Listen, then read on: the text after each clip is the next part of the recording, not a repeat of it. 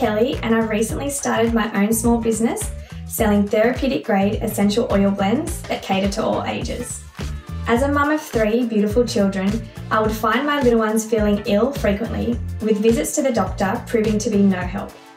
I wanted to promote a low tox home for my family by eliminating the majority of toxins in the products we use, and in the process, I discovered the power of natural essential oils. Wanting to share my positive experience, I started the Mac Tribe store so I could spread the word while also spending more time at home with my kids. As a store that is completely home run with my products sold online, I manage the production of each order myself. I dilute the blends, bottle the oil, label the bottles, and arrange the shipping and packaging myself.